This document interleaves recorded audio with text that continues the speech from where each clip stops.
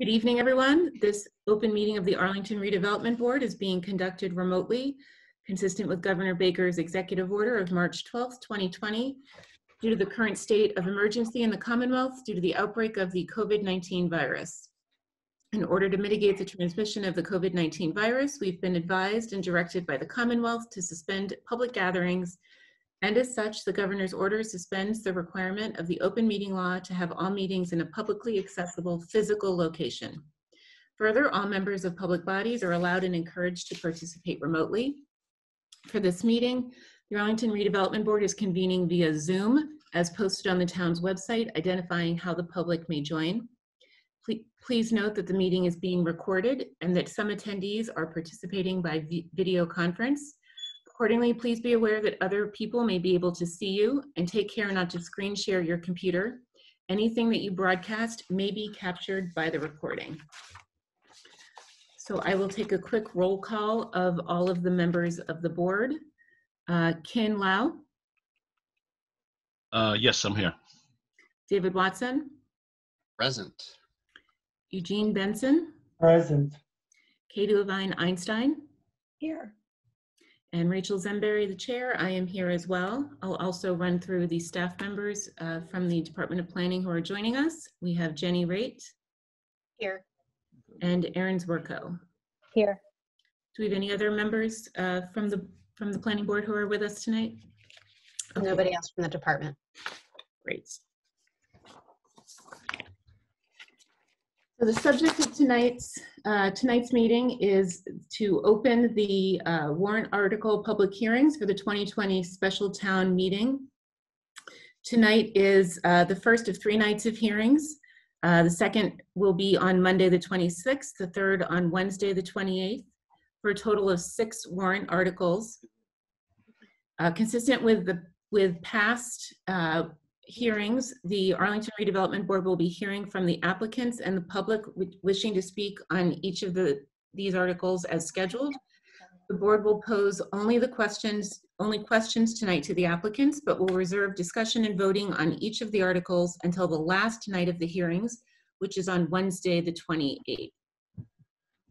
So I just want to run through a few items for any uh, person wishing to speak at the, uh, at these open public hearings. Uh, Any person wishing to speak at the zoning warrant article public hearings will be given an opportunity to do so in accordance with the following procedures. The subject matter of the hearings is posted in the agenda, which you see on the screen. People wishing to address the Arlington Redevelopment Board on the subject matter of the agenda item shall signify their desire to speak by raising their hand when the chair announces consideration of such item. To raise your hand in Zoom on your computer, go to the Participants section at the bottom of your screen and select Raise Hand, or on your phone, press star six to unmute yourself. After being recognized to speak by the chair, such persons will preface their comments by giving their first and last name and their street address. Any person addressing the board on the subject matter of the agenda item shall limit their remarks to three minutes and may be allowed to speak more than once at the discretion of the chair. The board may receive any oral or written evidence, but such evidence is restricted to the subject matter of the agenda item. Immaterial or unduly repetitious evidence may be excluded. Persons present at the public hearing are requested not to applaud or otherwise express approval or disapproval of any statements made or actions taken at such hearing. Hearing participants shall refrain from interrupting other speakers and conduct themselves in a civil and courteous manner. Speakers should address questions through the chair. Speakers shall not attempt to engage in debate or dialogue with the Arlington Redevelopment Board members or other hearing participants. Questions may or may not be answered during the public hearing tonight. All right, with those procedural items out of the way, we will uh, begin with the first article on our agenda, Article 20, which is a zoning bylaw amendment uh, with parking reductions in the B3 and B5 districts. And I will turn this over to uh, Jenny Raitt, who uh, is going to speak on behalf of the Planning Department.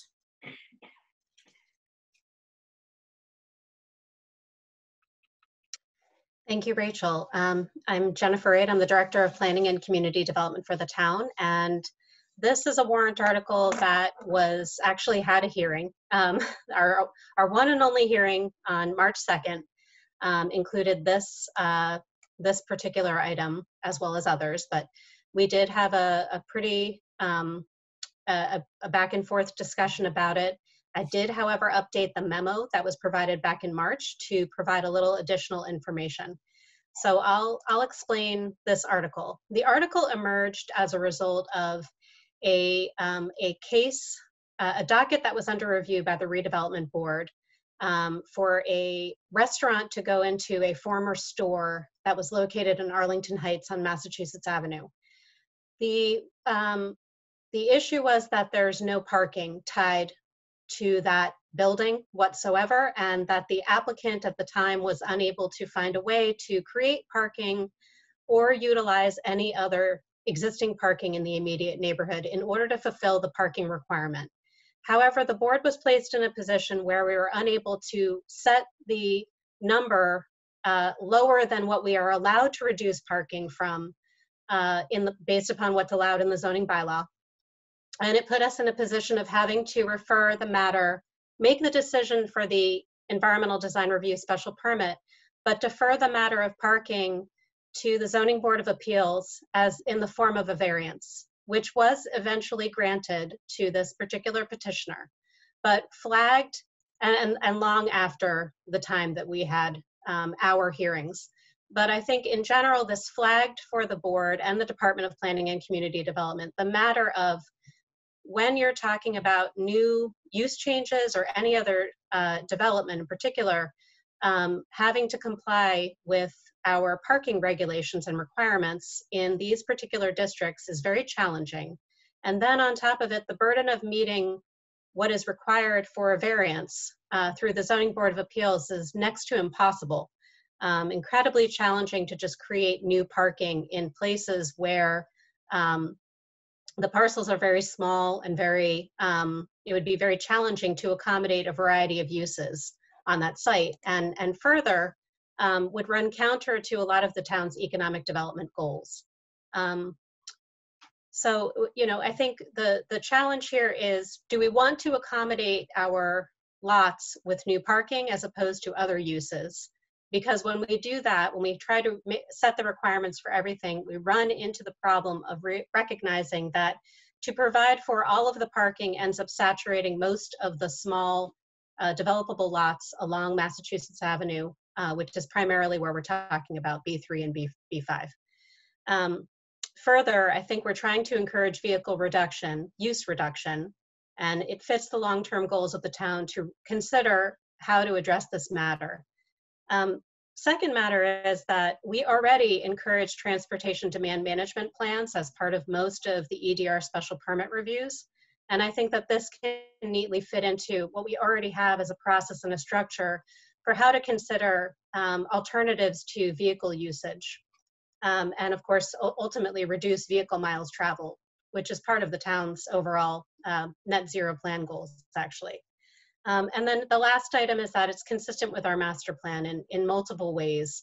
Um, but the primary way is back to the one that I said in the beginning. It fulfills the town's economic development goals in order to better accommodate new businesses coming in and providing in, it in a manner that allows them to do so without waiting months for a variance to be filed and adopted and passed by multiple boards. So um, with that, what I'm showing on the screen is a map of uh, Arlington Center, and also a smaller map of Arlington Heights. I'm glad for the board's uh, use. I can bring up the, the text of the, of the uh, warrant article or anything else that would be helpful for the dialogue as we move forward. Thank you. Thank you, Jenny. Um, as we already had a hearing on this item, I will uh, move through the roll call for the, the board before turning it over to the public for any, um, any questions or, or comments. Um, so if there are any, any new comments that we, that we didn't address previously, I'll, I'll start with uh, uh, Katie, since you are joining us. And we're not at that first hearing. Um, and I can't say that I, I, watched what happened at the first hearing, so I apologize if any of this is repetition. Um, I just want to say I, I strongly support this. Um, it seems like we need to, particularly in this moment, but also consistent with our master plan, be doing a lot to make it um, easier for businesses to open and do things to streamline um, our zoning to make this possible. So this seems well thought out, um, carefully considered, no doubt in part because my board members, I'm sure, asked amazing questions back in March and had a great discussion over this. So Thank you. Uh, Gene?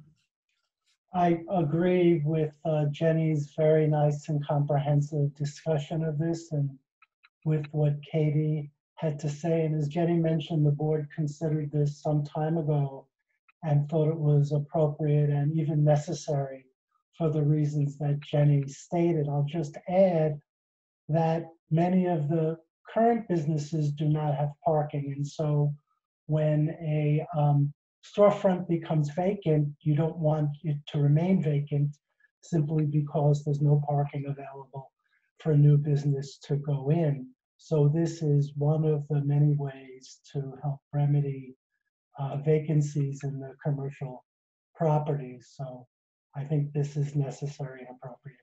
Thanks. Thank you, Gene. Uh, David?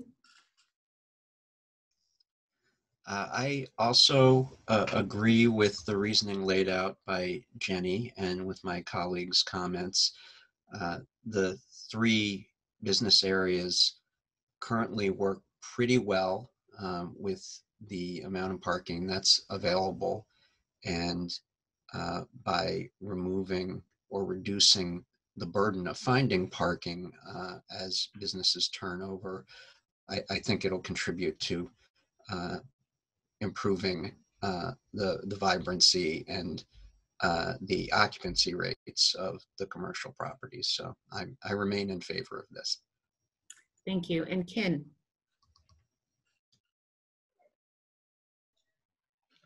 I have no questions. I uh, echo my uh, fellow board members' uh, support of this and thank Jenny for her um, um, complete uh, explanation of what, what's going on here.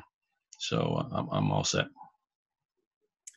Great, thank you all. So with that, we will turn, we will open this to, for public comment. Um, As a reminder, please use the raised hand function uh, at the bottom of your screen. And I'll remind you to please state your name and address for the record.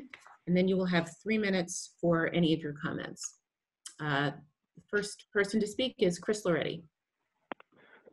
Thank you, Madam Chair. Chris Loreti, 56 Adams Street. Um, first, I want to preface my comments by saying I don't actually see any proposed vote here. So I'm not exactly sure what I'm commenting on because all we have is, is a, war- a general warrant article with no specific language for zoning bylaw changes. Um, but I would say I think the staff from planning um, that you received is misleading because in situations that were described, the bylaw does not require new on-site parking the way um, parking has traditionally been handled in these districts is that even though there is no parking right now for the existing use, if that use changes, then it has been considered a pre-existing non-conforming use. And as long as the new use does not require more parking, then there has been no need for additional parking and no need for on-street parking, I mean off-street parking to be created. So first, I want to get that out of the way. Um, also, I think the example in the memo you received is misleading because it talks about a change of use and the need to create all this new um, parking off-site. But that would, but as I said, what's only needed is any incremental parking requirements. And in fact, the bylaw already provides quite a bit of flexibility for meeting those requirements. Um, I think it's notable that at most you came up with maybe three or four variances over a 50 year period in three different business districts.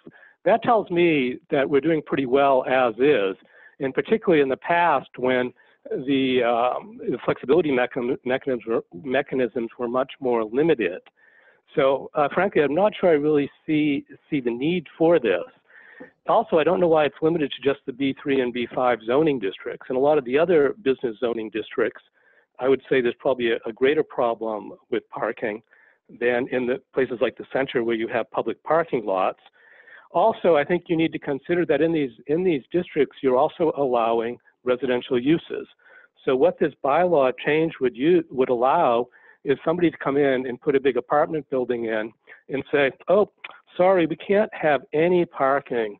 Um, sorry, you know, we want you to allow a residential development with zero parking.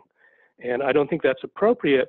And I don't think it's appropriate because you also have to consider the other existing businesses and their need for on-street parking. If you, if these developments are not providing off-street parking, either on their site or elsewhere, then they're competing with other businesses. And I don't think it's fair to the existing businesses to give that uh, competition. With respect to that development in Arlington Heights, they did not need a variance. They didn't need the variance because they found alternative parking that, that Mr. could be. That's- shared. It's time. If you could wrap up, please. So all I want to say is I think this really needs more study. I would ask you to put it off until you look at the problem in greater context, bring more of the businesses in to get their perspective because they're going to be the ones who are hurt by this. Thank you. Thank you. The next speaker, uh, the next speaker from the public is uh, Darcy Devney.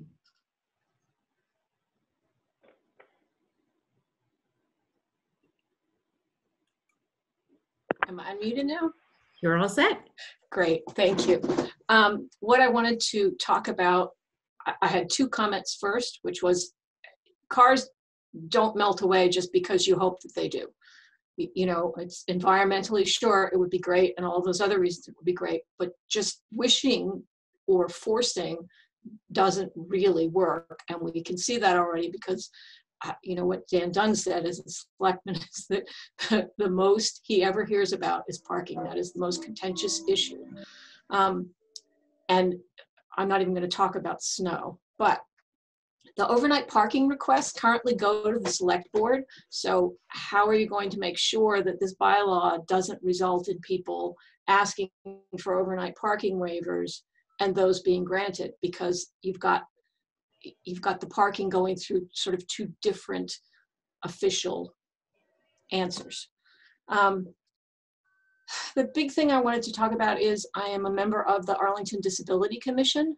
And um, in effect, the current bylaw already changes the ratio of HP, handicap placard parking spaces to non-HP spaces, um, and not in a good way.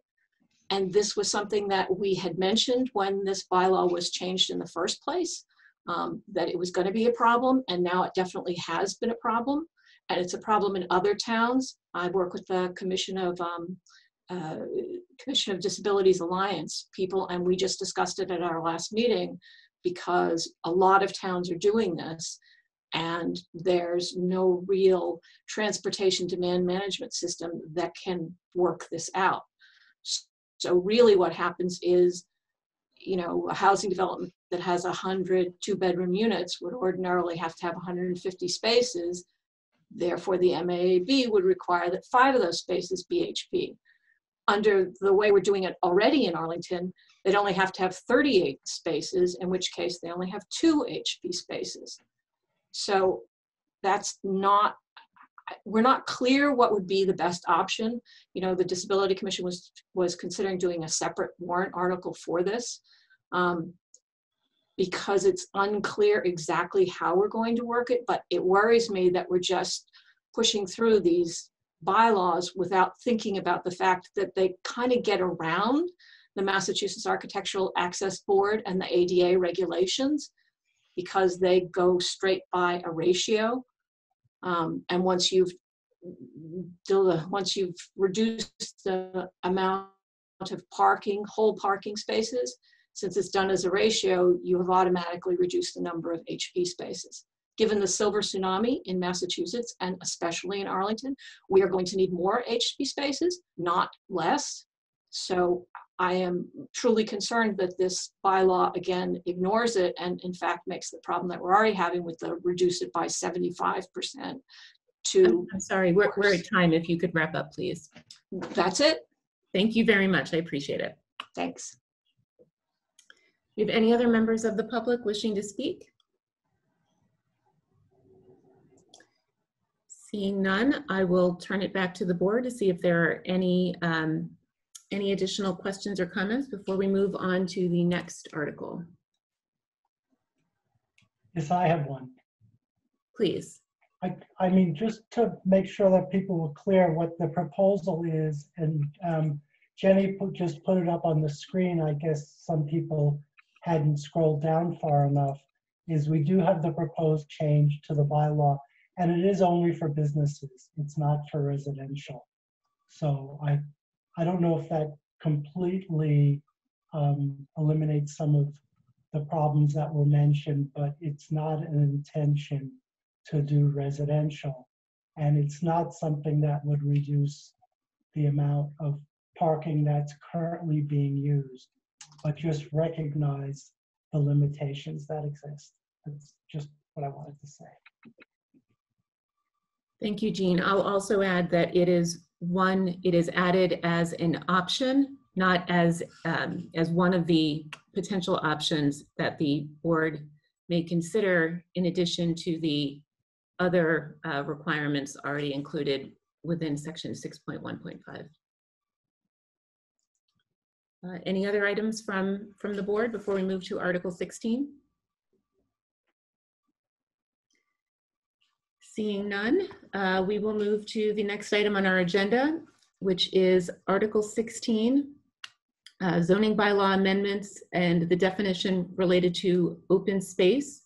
Uh, This article is to see if the town will vote to amend the zoning bylaw by renaming the terms open space, open space usable, and open space landscaped in section two definitions or take any action related thereto. Um, So before we, uh, Jenny um, Raitt will be uh, speaking a bit on this, but before we do so, I wanted to make sure that the petitioner, Steve Revilak, is with us this evening. Uh, hello, Madam Chair. I am here. Wonderful, thank you. So Jenny, I'll turn it over to you before we uh, turn it over to Steve. I'll just say a few brief brief things. The the first one is that, and these are also in my memo to the to the board and what's been posted in the Novus agenda, but just briefly, um, it's the I think the intention, and we'll hear more about it, is to neutralize some of the terms around open space, um, and that the word yard. Um, which is a word that actually the board has been using pretty consistently in the four and a half years I've been working with the town. Um, we often refer to it as a yard um, in the back of a building, um, and uh, that it's it's specifying sort of the the way the land is actually being used on the lot. So it's consistent with this board, but it's also consistent with some of the zoning board of appeals uh, cases as well. Um, it is, the scope is limited to definitions, but we observed in our review that it might be relevant to make some other amendments in the bylaw that might, however, be out of scope. Um, the last item is that the master plan talks about promoting ways to make the zoning bylaws just simply more usable and understandable, especially when it comes to terminology and what different definitions mean. Um, we worked very hard actually on definitions during the recodification process to uh, sort of tease out what is actually the definition of word versus how you actually uh, calculate things and measurements, et cetera, the dimensional requirements. Um, this would kind of create even further teasing out and definition of the concept of open space, which of course is, is more than a concept, but the way that we look at it and talk about it, I think this is meant to introduce a term that is frankly often used uh, by boards in their decision making. Um, so that that covers the the highlights of the memo that I provided to the board. Thank you. Thank you, Jenny. Uh, I will turn it over to Steve Revilak. Uh, thank you, Madam Chair. Uh, this is Steve Revilak, and I live at 111 Sunnyside Avenue, and I'm the petitioner for Article 16. So, um, Article 16 proposes to change the terms open space, open space usable, and open space landscaped. It does not propose to change the definitions. Uh, and neither does it propose to change any of the associated regulations. So we're just we're just renaming defined terms in the bylaw itself. I had two motivations for bringing this article forward. One was that our bylaw uses the words open space in two different contexts, and in each of those contexts, they have a different meaning. And I'll talk more about that in a moment. And secondly, is just because, frankly, I've gone to enough hearings and seen enough people misunderstand the definitions um, that it makes me think that, you know, the the people don't when people say open space, they're not necessarily speaking in a way that's consistent with what the text of the definitions are. So with respect to the way that we use open space, those words in the bylaw, uh, we have an open space district, which is, you know, under the jurisdictions of the Park and Recreation Commission, the Conservation Commission. You know, it's under the jurisdiction of a public body, and its principal use is open space and recreation, and any structures in the open space district are clearly accessory to that. You know, for all practical, for to a large extent, it's what you would call green space. Now, the open space that is used in the second way we use open space is as a dimensional and density regulation. Now, we have three definitions uh, in, in this context. One is open space, uh, one is open space usable, and one is open space landscaped. The latter two have specific uh, quantitative requirements associated with them, and the definition of open space just sort of sets a framing for the other two. So the way we define open space is a yard, including sidewalks, swimming pools, terraced areas, decks, patios, play courts, and playground facilities not devoted to streets, driveways, off-street parking, or loading spaces or other paved areas. So the fact that you know we the definition for open space begins by calling it a yard uh, is what got led me to think uh, that yard space would be a more uh, appropriate term and possibly better understood. Now, with respect to the difference between landscaped and usable open space, you know, in general, usable open space, uh, it's the you know its primary characteristic is a is a set of requirements. So it need needs to be have a, a, a, certain horizontal, minimum horizontal dimension, you know, 25 feet or 20 feet for recently constructed uh, residential houses with that provide surface parking. But you know, there's a minimum parking require or minimum parking require, requirement, a minimum you know area size requirement, a minimum dimensional requirement, and open space landscaped is for the most part you know the areas of the yard that are left. Now, um, since open space usable is generally the biggest portion of the yard, uh, I had suggested calling it open space primary or just primary open space. And for landscape, that tends to be the smaller area. It has a smaller dimensional requirement as a percentage of gross floor area. So I had suggested calling that secondary. Um, I am, you know, completely open to better ideas for the terms. Um, but I just, you know, wanted to, you know, bring this forward as a way to, uh, I think, try to clear up some of the language and hopefully to improve usability. Thank you. Thank you, Mr. Revilak. I will open um, discussion now uh, through roll call for the members of the board, um, starting with uh, Katie. Um, so I um, I think this is great. I think um, moving us in a direction, um, you know, as the memo from the planning department indicated, moving us in a direction where the terminology we use is more comprehensible to the general public, I think is great as a step forward to making um, zoning and land use more inclusive to a wider audience. Um, and so obviously we need to be really careful with the language we use to make sure that we're being precise in the concepts we're defining. But this seems to me like a modest administrative change that would help support the goal of um, making the zoning bylaws more accessible. Thank you. Thank you. Uh, Gene. Um, thank you. And thank you, Steve, for putting this forward and for your explanation. And it's certainly understandable. And in reading your explanation, if I understood it right, one of your motivations for this change is distinguish these sorts of open space from the open space zone itself, which is parks and and recreational areas and things like that. Um, that said, I have a I have a few concerns about the terminology you're proposing, and I'd like to suggest an alternative to you. Um, I have some concerns around primary and secondary because they tend to be seen not simply as what's larger and what's smaller, sometimes what's more or what's less important. And sometimes um, landscaped open space may actually be a larger part of a parcel than usable open space. So I'm somewhat concerned about that terminology.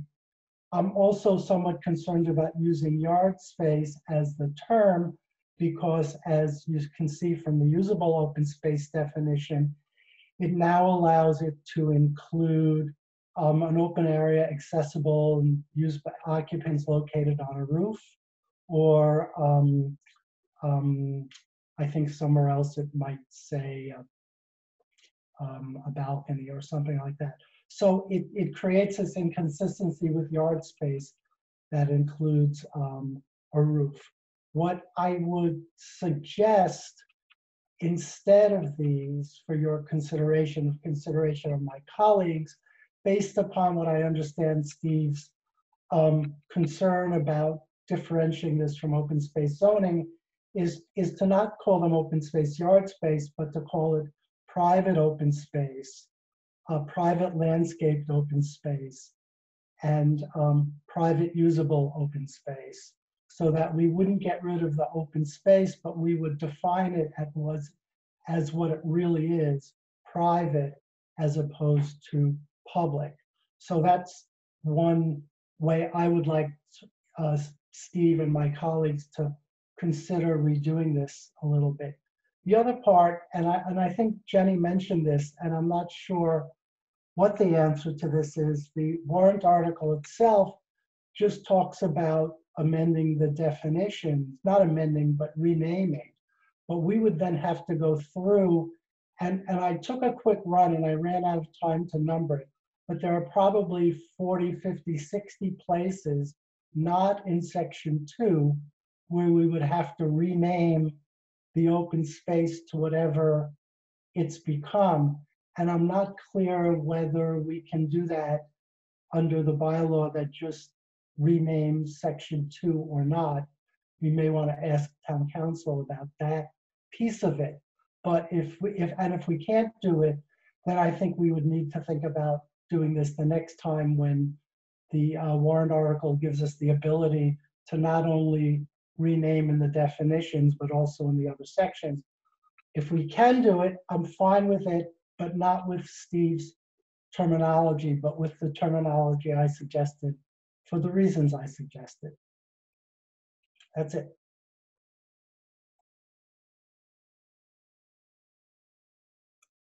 Thank you, Gene. Did you, uh, Jenny, did you want to address um, Gene's question or, or we'll follow up with town counsel?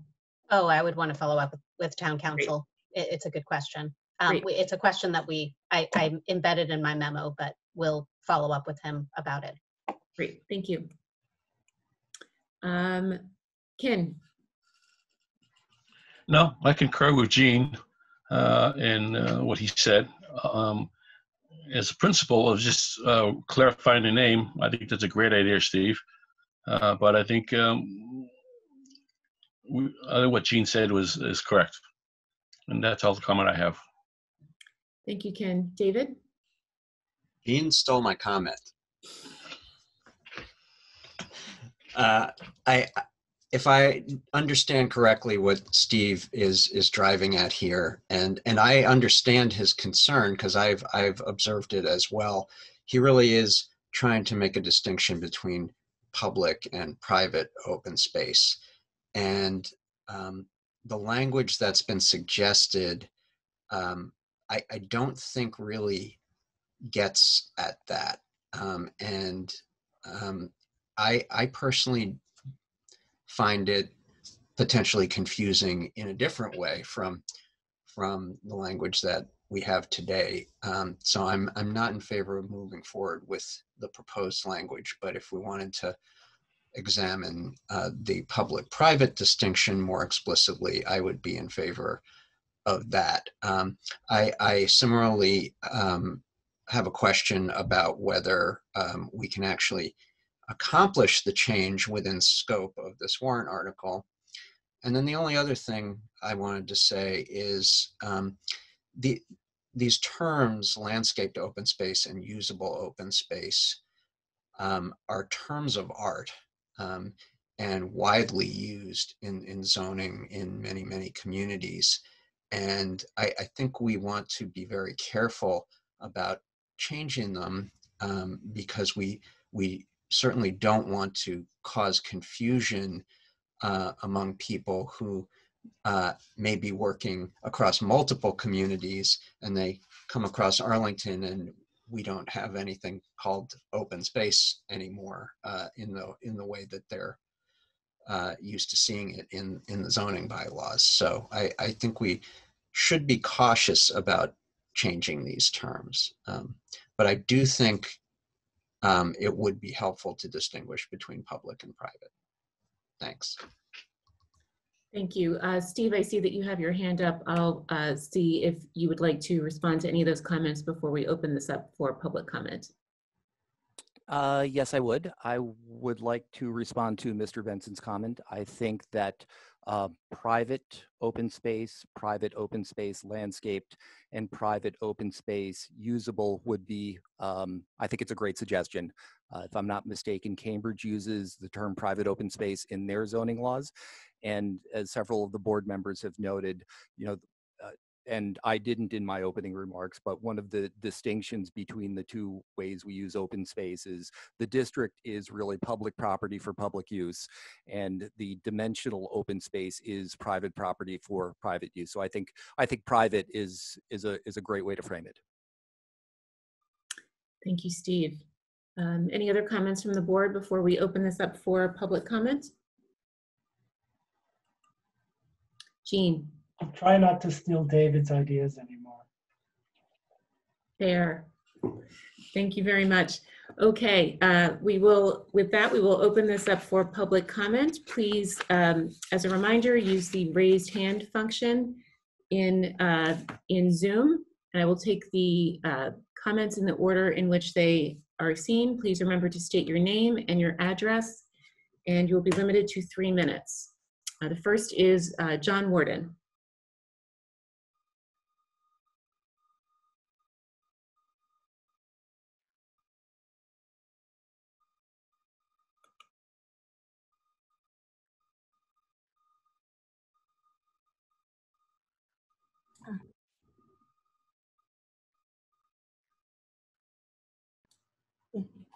Well, can you hear me now? Yes, we can. Okay, thank you. I, I was always a little challenged by this technology. I'm so glad when, hmm, when we get to real meetings with real people in a real room. Uh, John, uh, John Worden, 27 Jason Street. Um, it, se- seems to me that this uh, proposal, um, never mind the the um, uh, the, the uh, ramifications that it might have throughout the various parts of the bylaw, is a solution in search of a problem. An open space is something I think everybody can understand. Certainly, we can understand we haven't enough of it in Arlington. Uh, and open space in a park is open space in a park. We know that. Open space in my backyard. So I, I don't see any point in complicating things and, and uh, bringing in a new definition that has been pointed out isn't used anyplace else. Let's just stick with what we have. If it ain't broke, don't fix it. Thank you. Thank you, Mr. Worden. Uh, The next speaker from the public will be Patricia Worden. Thank you, Madam Chairman. Can you hear me? Yes, we can. Thank you. Yes, Patricia Worden, um, 27 Jason Street, Precinct 8. Um, I just want to say that this could almost be an attempt to distract and confuse from the existing fairly clear descriptive um, descri- description of open space as we understand it today and could be provide um, an article in which, uh, like last year, Mr. Revilak uh, had an article in which uh, he didn't even vote for his own article in the end, and he tried to have a lot of other unrelated um, matters that were very important onto his article. I think this article could be damaging and confusing for town meeting and others, and could certainly be damaging for our very precious open space. Thank you. Thank you, Ms. Gordon. Uh, The next speaker uh, will be Carl Wagner. Hi, thank you. Can you hear me? Yes, we can. Thank you. My name is Carl Wagner, 30 Edge Hill Road, Arlington. Uh, I think it's, um, thank you, Madam Chair. I think it's important that uh, just like changes to the bylaw were made in the past to make them nominally clearer and better understood, changes like this should also meet that uh, goal. I am pleased that the state appointed member of this uh, commission, of this board, uh, Mr. Watson, pointed that out. I wish the rest of you who are town manager appointed would realize that this is an obfuscation. My understanding of open space private is that it is trees and grass and things that keep buildings small, not because buildings need to grow larger, as I suspect Mr. Revilak's goal is, but in fact because they are things that keep people happy on those properties. They keep the town the way it, it is in a good sense. They keep uh, coronavirus at bay, for example, by giving people a place to go. If you call spaces primary and secondary instead of open space usable and open space landscaped, you are simply paving the way. As Mr. Revilak actually points out, if everyone wants to take a look at it in this document, he points out that in the long term, I quote, in the long term, I hope that we can revisit the way our zoning law regulates yards. But for the moment, my goal is to have new terms with that better fit the text of the definitions while leaving the definitions as they currently are. So, folks, there are going to be several more days of hearings this article looks neutral, but in fact, its goal is to downgrade and devalue open space, green trees, green grass, the space that parking gives to cars, the fact that buildings don't have to be jammed against each other. And I really think we have to be concerned that there are articles coming from Mr. Revilak and others that want density and urbanization that could be very, very, very dangerous. Thank you. Thank you, Mr. Wagner. Uh, the next speaker will be. Uh, the next speaker Thank you. The next speaker will be uh, Don Seltzer. Thank you, Madam Chair. Don Seltzer, Irving Street. Uh, several members of the board have really covered most of what I was going to say, so I'll just be brief and get to the end of my comments. Do we really want to burden town meeting with such an article at this time? Consider how it would play out. The petitioner will present his lengthy argument There'll be two or three town meeting members who will then speak in opposition. And then there'll probably be a few supporters of this article who will speak next. And finally, there will be a vote. All this is easily going to burn up 20, maybe 30 minutes of meeting time. Is it really fair to town meeting to burden them with a, what is really a semantic quibble during such trying times? Thank you.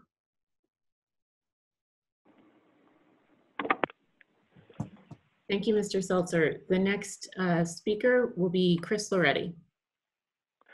Thank you, Madam Chair. Chris Loreti, uh, 56 Adams Street. I, I, agree with the previous speakers. I really don't see that this is necessary. And I think the changes Mr. Revilak proposed actually add to confusion. Um, one, in, indeed, his definition of yard space is just wrong. I have a side yard on my house. It's entirely a driveway, but it doesn't meet his definition of yard space. I, I find that very confusing. Um, I also think that the terms landscaped and usable are far more descriptive than primary and secondary. And as Mr. Um, Benson pointed out, you know, my dictionary defines secondary as less important than. Now that may well reflect uh, Mr. Revilak's opinion, but I don't think that should be codified in the zoning bylaw. And I really don't think the board board should should make that change. Um, I would simply um, want to correct some statements that have been made about whether these changes are even possible under the wording of the warrant article itself. And the person you need to consult with on that is not town counsel. It's the decision of the town moderator, Mr. Leone, and he's the person you need to speak to about whether these other, all these other changes that uh, Mr. Benson identified can actually even be made. Um, I suggest there's really no need for this, and I'm really disappointed that the board did not put forward its far more important changes that were Articles 44 to 47 in the original warrant for the Springtown meeting. But I would ask you to just vote this down, and if you really do feel you have to go ahead with it, to adopt Mr. Benson's recommendations. Thank you. Thank you, Mr. Loreti. Uh, the next speaker will be Steve Moore. Uh, yes, Steve Moore, 64 Piedmont Street. Uh, I just have a, a small related question. Uh, in, in reading the various language uh, for yard space, secondary, primary, et cetera, I see that sidewalks is included in the, the general definition of yard space. Um, and the distinction, my question is around the distinction of sidewalks. Uh, does that include public sidewalks? That's a question. And because I see that not devoted to streets, driveways, off-street parking, public sidewalks would be probably in the not devoted section. And I'm wondering about sidewalks being included generally because that ends up being a lot of square footage that's part of public property. So maybe it's just my lack of understanding, which is probably it. Thanks. Thank you very much. Uh, can someone can someone answer my question? We're, we're working on that, yes. I'm gonna, I'm gonna throw that, um, Jenny, did you want to offer any technical clarification?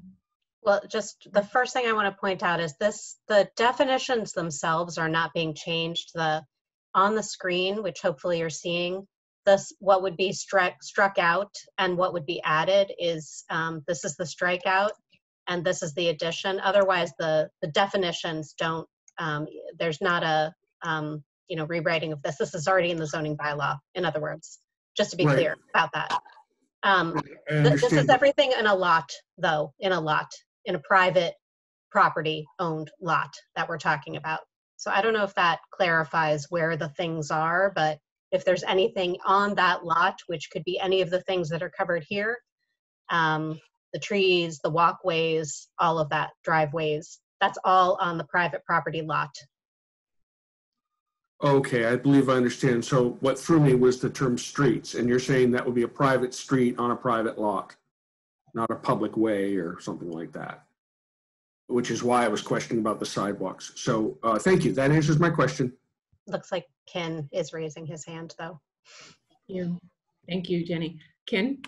Yeah, um, Steve, um, I believe that public sidewalks do not count in that calculation. The only spaces that count are with, is within the property line. Um, so, um, if there is a private street, that doesn't count either. It has to be within your property line for, for this. That's my belief on this. I I stand corrected if, if someone found it's different, but that's how I've done it in the past. Uh, using area calculations, and I believe Steve was not trying to change any meaning uh, of Right. what these were. So that's what I, that's how I believe it is. Okay, Steve? Thank you. That's my, that, that, it- it's just my edification then. Thank you very much. Sure. Thank you. Uh, Let's see, Steve Revilak. No, I just wanted to uh, offer a clarification. Yes, uh, as as uh, Ms. Raitt stated, the only changes to the definitions are the strikeouts and the uh, additions in red. Everything else in a normal font is part of the existing bylaw. It's what um, you know. It's what we have today, and you know, it's the. I am not proposing that that be changed. Thank you, Mr. Revilak. Do we have any other questions or comments? Seeing none, I will turn this back over to the board to see if there are any additional questions or comments before we move on to the next article.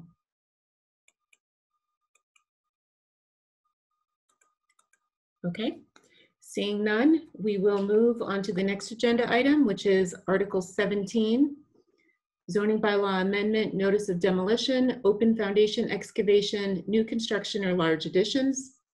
This is to see if the town will vote to amend the zoning bylaw in section 3.1 point B by appending to the end of this section the sentence, no such permit shall be issued until the building inspector finds that the applicant is in compliance with the applicable provisions of the Title VI, Article 7 of the town bylaws or take any action related thereto. So this uh, petitioner is Michael Ruderman, who appears to be with us this evening. Uh, So I will turn this over to Jenny Raitt uh, first before we uh, then uh, allow Michael Ruderman the opportunity to present this article. Great. He's He's here too, correct? Okay, great. I just don't see him on my screen yet. Sorry. Um, so this is, I'm, I think this is a very, this is something that relates back to the construction um, control sort of agreement, the good neighbor agreement, as we call it in um, friendly terms, uh, that was actually put into the town bylaw. It was a series of amendments to the town bylaw that then turned into what is now known as this good neighbor agreement. And this basically is the sort of companion to that by putting a statement in the zoning bylaw that makes it clear that those provisions must be adhered to. And I think I think it's a wise um, addition. Um, it's not typical that we we've tried to take out some administrative sort of steps and actions that need to be taken from the zoning bylaw when we recodified it in particular. But um, I think that this one is good because it clarifies the action that relates back to the town bylaw um, for the building inspector to take in order to execute this agreement. So I, I think it's, um, I think it is a wise amendment to the zoning bylaw in relationship to these notices. Thank you. Thank you, Jenny. And with that, we will turn it over to Michael Ruderman. Thank you, Madam Chair. Michael Ruderman of 9 Alton Street. Uh, ladies and gentlemen of the board, I commend your staff support on the memo that they pre prepared for you, which was made available with the online uh, agenda. I couldn't have said it better myself, uh, the summary of, of what this article uh, tries to do. Uh, and I'm sure you've all read it. For the benefit of, of, of, the other folks who are attending this meeting, I'll summarize it very briefly. Uh, at the 2017 town meeting, uh, a committee called the Residential Study Group offered an amendment to the zoning bylaw, which would alleviate uh, or, or, address many concerns, uh, the most common and frequent concerns that uh, people had raised about the, the, the, pace and scale of uh, new development uh, immediately uh, in, in their own neighborhoods.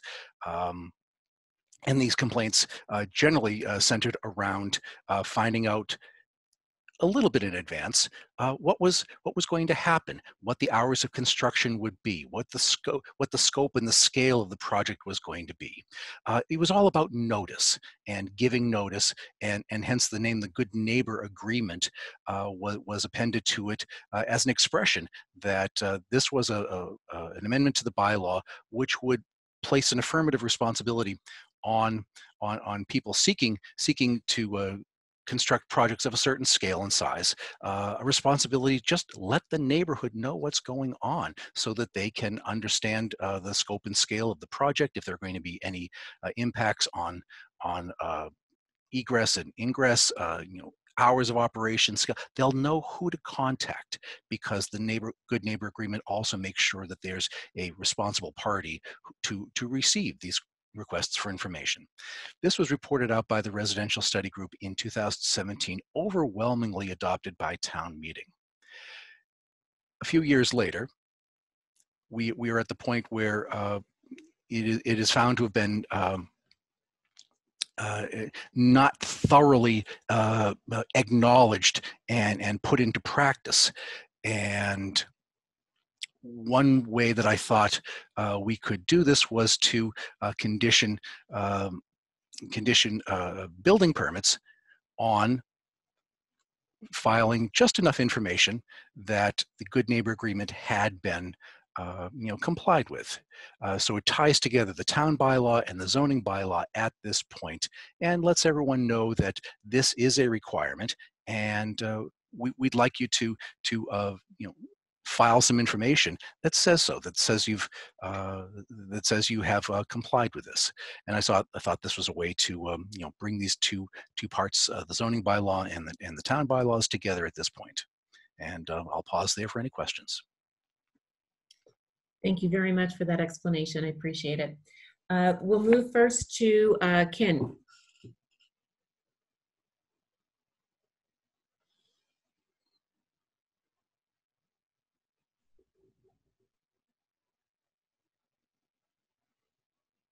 Sorry about that. I couldn't get myself unmuted. No problem. Um, Mike, is this basically a, a regulation just for the uh, building department such that they can't issue uh, a building permit until this, until the good neighbors policy is put in place? I mean, essentially, I'm just uh, trying to understand, is that what this is? That's what this is, and that's what the memo to the board uh, wa- was, uh, you know, right on point in in in highlighting. It makes it, it folds the good neighbor agreement into all the other things which someone already has to do to be issued a building permit. So, you know, as as town meeting voted it into existence and made it a requirement, this now puts the issuance of the building permit uh, uh, you know, on top of fulfillment of of that good neighbor agreement. The good neighbor agreement has penalties in it, uh, and I'm seeking to find out if those penalties have have, have ever actually been been, been uh, threatened or or, or levied. Uh, but uh, this would be one way to ensure that people are aware of it and and uh, that is complied with. Okay. I really have no um, objections to this right now.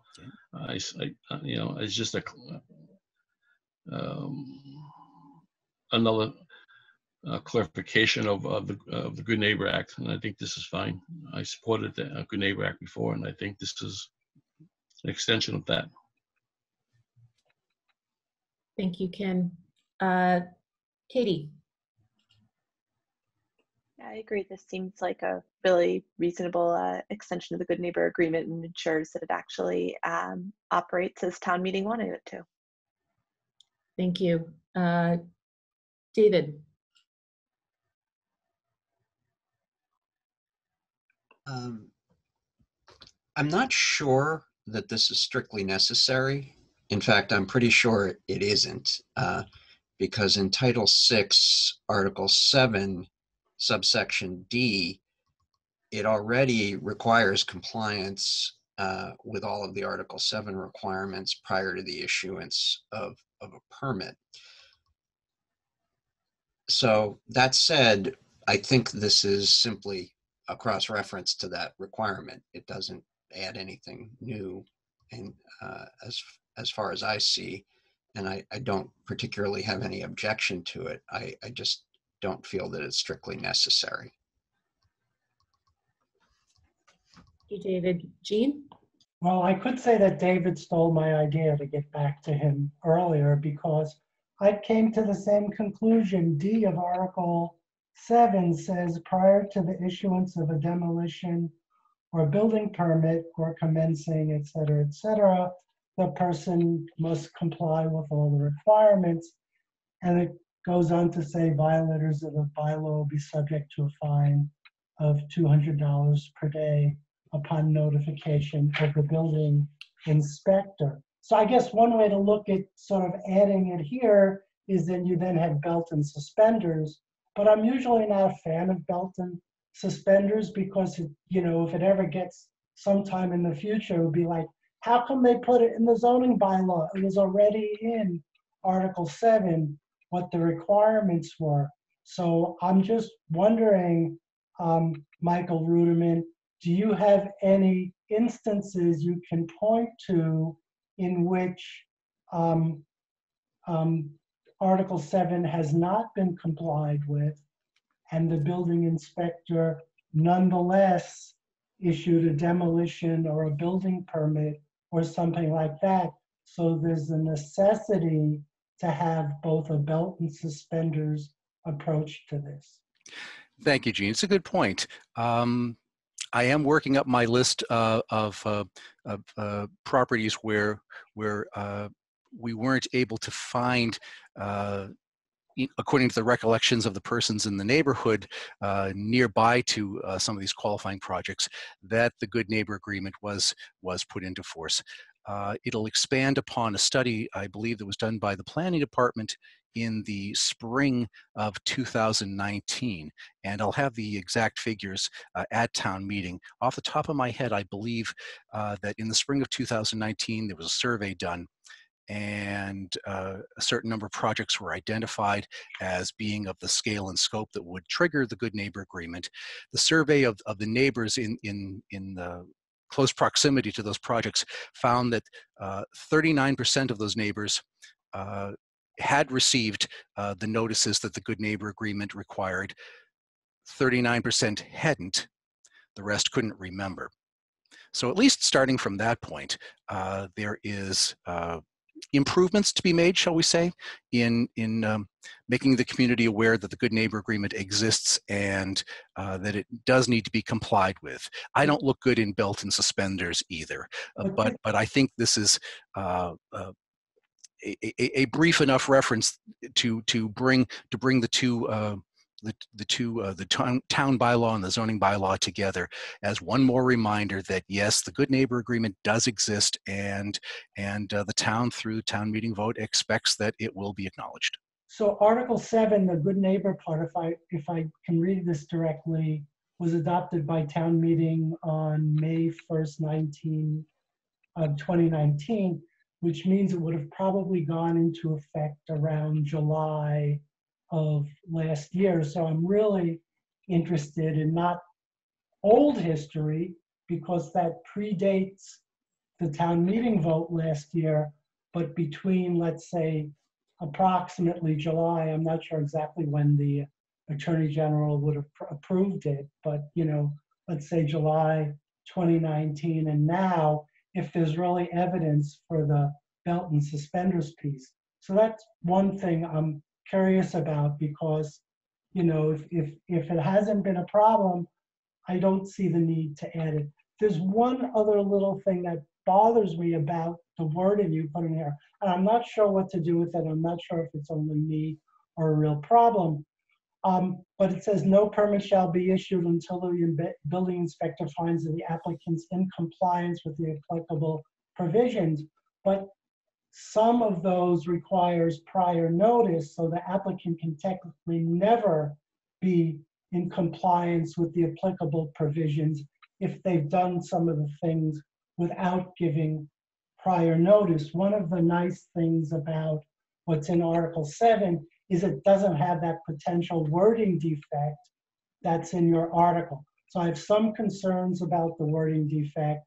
I have some concerns about whether we really need a belt and suspenders thing since this thing has been in effect, you know, for approximately a year. So I'm not sure this is a good idea to do at this time, maybe with slightly different wording in the article, a year or two down the road, if it turns out that there are problems, you know, from, you know, sometime in um, 2019 to a year or two, I'd be more inclined to think this is a good idea that's where I am at the moment. If you can provide the staff, Michael, with some examples of non-compliance between July 2019 and now, I think that would be really helpful to make your case.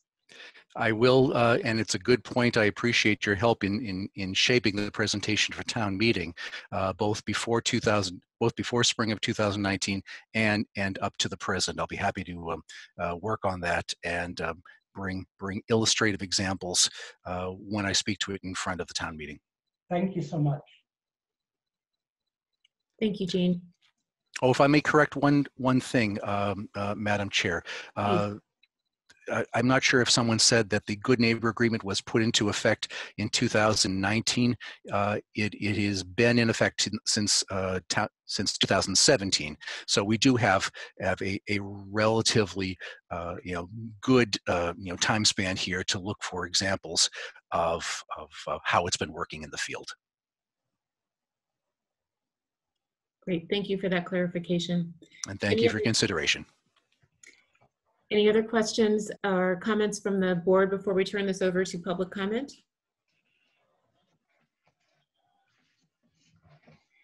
Seeing none, I will ask that uh, anyone wishing to comment on this article, please use the raise hand function.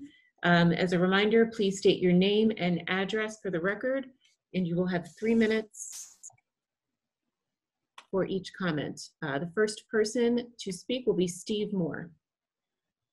Yes, Steve Moore, 64 Piedmont Street. Thanks.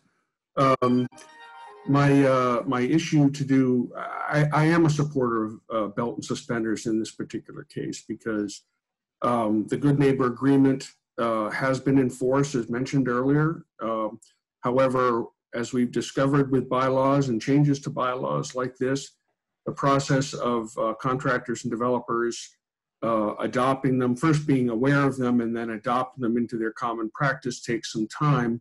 It doesn't always go uh, particularly smoothly. And uh, one of the issues here to do with the belt and suspenders is tree removal. Since tree removal is part of site preparation for an awful lot of development work, but it's before done often before they break ground to uh, to put foundations in the ground, et cetera. Um, one of the issues that often runs afoul of the good neighbor agreement is trees coming down before the neighbor and neighborhood are particularly well informed. Uh, I, am a member of the tree committee, and we've we run into this uh, situation um, not commonly, but it does it does occur. And uh, in this case, belt and suspenders would remind again developers and contractors that they need to apply uh, comply with the good neighbor agreement aspects to do with trees and other things uh, prior to them them doing certain activities of site prep which don't necessarily involve uh, complete construction beginning uh, commencement. So, so in this case, I think it reinforces that. And uh, the good neighbor agreement goes an awful long way to uh, providing uh, communication between neighbors and the developers about what's going on. And I think an awful lot of uh, bad blood and angst comes from lack of that communication. So anything to strengthen that and adding suspenders to the belt or vice versa, I think is a good thing. Thank you. Thank you very much. The next person uh, to speak will be Peter Fiore.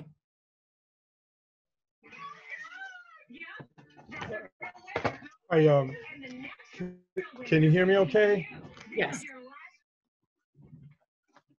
Okay, so I, I actually um, hadn't intended to uh, comment on anything. I just saw Mr. Ruderman's article being presented, and because the house across the street um, has been demolished and rebuilt and the whole foundation uh, done over, I just was curious to see what, what he was doing. So I actually have one of those good neighbor agreements, and uh, this is it right here, so I can give you a little bit of how it's worked for me. Um, it had the contractor's name. Uh, when I realized I didn't get a site plan like I was supposed to, I asked him to send me one. He didn't send it to me. So I'm- I contacted inspection and service. I'm sorry, I don't mean to interrupt. Could you just state your name and, and at, Oh, I'm sorry. I'm sorry. Peter Fiore, 58 Mott Street. thank you. Um, so I, the house across the street to 59 has been rebuilt. Uh, I received the good neighbor agreement. It had uh, no site plan. I contacted the contractor. It had his name and phone number. He said he'd send it. He didn't. So I contacted and got the information from inspectional services. I had an issue with the work hours. I contacted the owner. He was not helpful. So I had to contact inspectional services. The great thing about this document is it's an easy reference for a neighbor that, that wants to see that the contractors, the developer, um, follow the bylaws. It's, it's, it's very handy for somebody that doesn't know what they are to just use as a reference list. And, and, and, and when they contact inspectional services to get it enforced, they know what they're talking about. Um, I was in town meeting for 25 or so years. I've been on various committees, so I kind of knew it anyway. But if you're somebody in town that, for whom, you know, zoning is, is, is a foreign language or doesn't understand it, uh, it's, it's really helpful. So I actually support what Mr. Ruderman is saying. And uh, I, I, I think this is good. Um, and, uh, and, uh, and I guess, yeah, that's, that's pretty much it. Thanks. Thank you very much. The uh, next speaker will be Don Seltzer. Thank you, Madam Chair. Don Seltzer, Irving Street. Uh, I just thought I would clarify some of the dates uh, regarding the Good Neighbor Agreement. It was passed in the spring of 2017, going into effect in the fall of 2017. A little after a year after it had been enacted, the Residential Study Group conducted its survey. I think it was sent out uh, very early in 2019. And uh, as was, I it was, I think was mentioned, it went out to around 1,200 households, I believe, and it had a pretty low response rate. About only 14% of the people bothered to respond to it. And overall, I think out of the 1280 households, 40 or so recalled getting their good neighbor agreement. Uh, there's more in that if you want to bring up the report itself, which was um, given to the select board in the spring of 2019. Thank you. Thank you. Uh, the next speaker will be uh, Chris Loreti.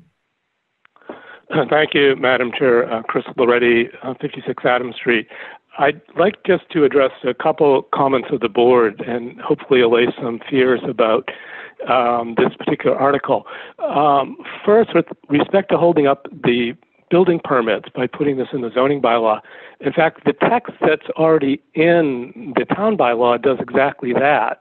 Because what it says is prior to the issuance of a demolition or building permit or commencing an open foundation excavation or protected tree removal, the applicant shall demonstrate to the satisfaction of the inspector of buildings, blah, blah, blah, that the notice has been made.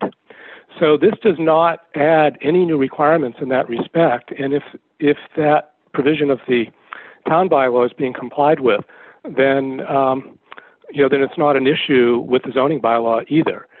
But one of the um, benefits of putting this into the zoning bylaw, I don't think has been mentioned, and that is that the zoning bylaw empowers people to make a request to the uh, building inspector for enforcement. This is in section 3.1.2. And that says any person may file a written request to the building inspector for enforcement of this bylaw.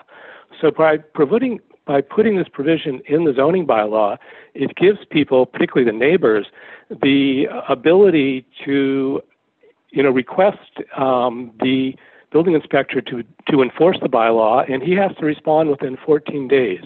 So essentially all it does is strengthen the requirements that are already there, but it does not impose any new requirements. Thank you. Thank you very much. Do we have any other members of the public who wish to offer comment? Okay, seeing none. Um, I, will just add to um, just to to echo what uh, Steve Moore mentioned with regard to tree removal and site prep. Um, I think for those reasons, I I too would be in favor of of um, adding this particular amendment to the to the zoning bylaws again, just to continue to strengthen the relationship between the Good Neighbor Act as it's currently written and and the zoning bylaws. Um, does any other member of the board have any additional comment or questions for the uh, petitioner? Yeah, uh, Rachel? Yes, Ken. Uh, I was going to just let it go, but just um, uh, when Steve mentioned earlier uh, about uh, notifying neighbors about cutting down trees and so forth like that, I believe uh, a homeowner can cut down trees within their property as long as they're not doing a, a, a new construction. Only time they they, uh, meet certain requirements is if trees were in the setbacks. Correct. Then they have to get uh, special approval for that uh, prior to cutting the trees down. So I just want to separate, uh, have an understanding that we're not limiting them uh, people from not able to cut down trees within their own property. It's only if they're redeveloping the property, and then if the tree falls in the setback uh, of the new development. I think that's an important clarification. Thank you very much. That's all. Thank you. Uh, any other questions, comments, or clarifications from the board?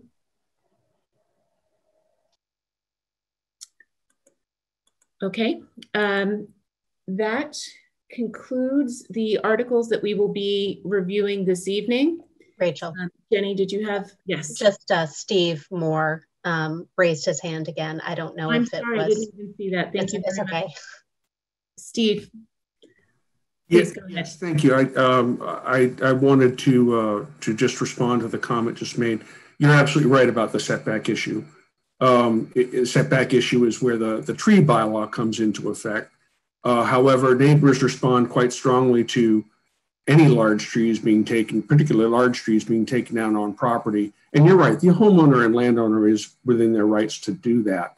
Uh, however, the good neighbor policy again goes an awful long way to allaying the fears or at least educating the, the butters about what they, you know, what is within the rights of developer to do and what is not. And, and that's, again, any communications like this helps, which is why I was supportive of the whole belt and suspenders idea. But your point is quite well taken about the setback.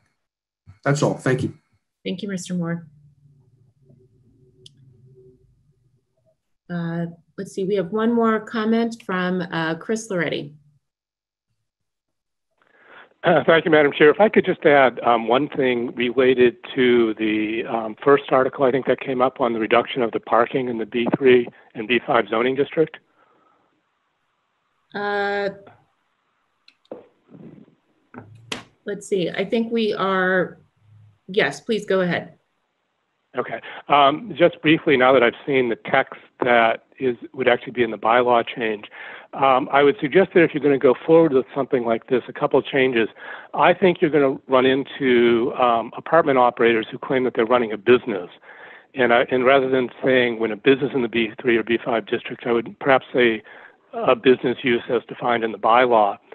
And I also think you need to make this um, determination of having no ability to create parking at the sole discretion of the redevelopment board or the zoning board of appeals as applicable.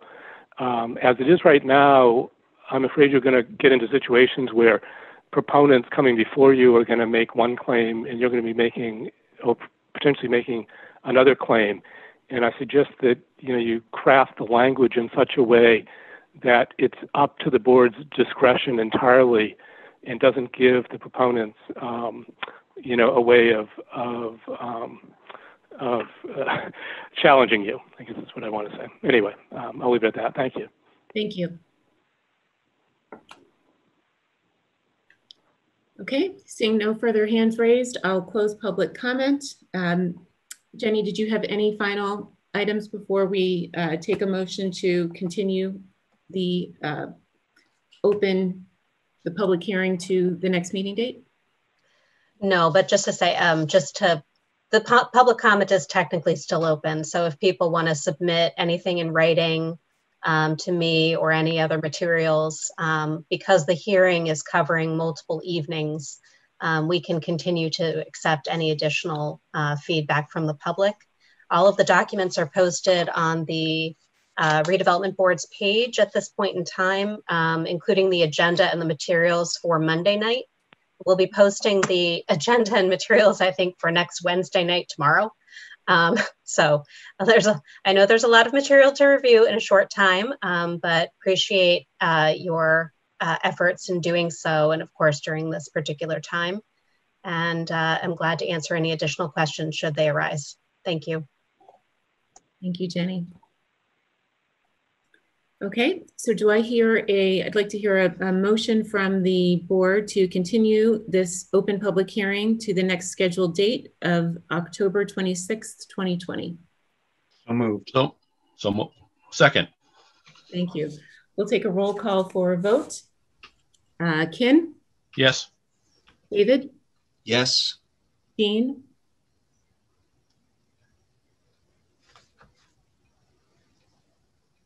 Sorry, I forgot to unmute. Yes. Thank you. And Katie? Yes. And I am a yes as well. Thank you very much. See you on Monday.